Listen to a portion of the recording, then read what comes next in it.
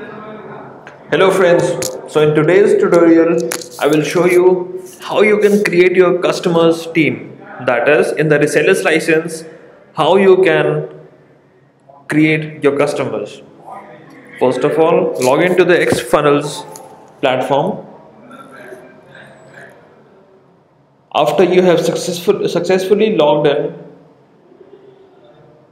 go to the my customers tab in the sidebar on the left side.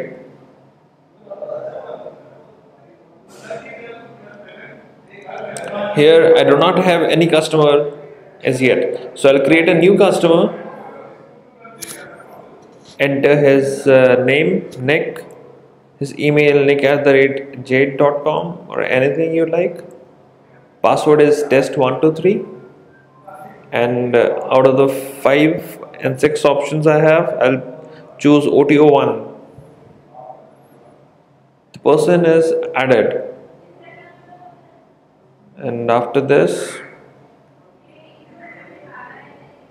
an automated email would be sent to this person on his registered email ID for his password. If you want to delete an existing customer, you can do so by clicking on the delete button over here. Thank you.